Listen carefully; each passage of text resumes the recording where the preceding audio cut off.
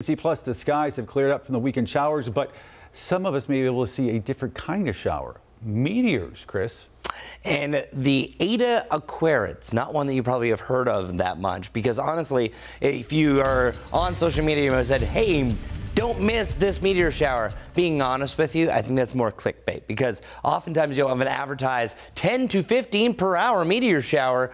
Well, likely you're only going to see two to five, maybe 10 if you're on top of the mountains, literally on top. This is not really a well-known meteor shower, even though uh, the internet may say otherwise, but you'll still be able to see a shooting star or meteor really through May 28th. And how I know, my director, Rusty, I swear always sees a shooting star within a couple of days of the peak of one of these, and he didn't see it. And that's how underwhelming this one is. So I'm going to go by that. I'm going to call it my rusty meter. 64% is also the fullness of the moon, so that's also going to blur some of those out as well. Here's your meteor shower calendar, the ones to look forward to. So coming up, the next one is going to be in July.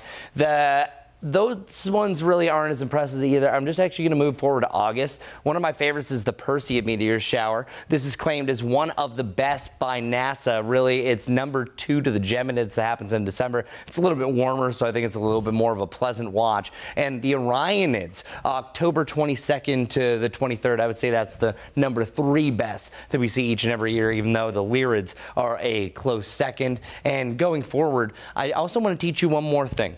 Meteoroid versus meteor versus meteorite.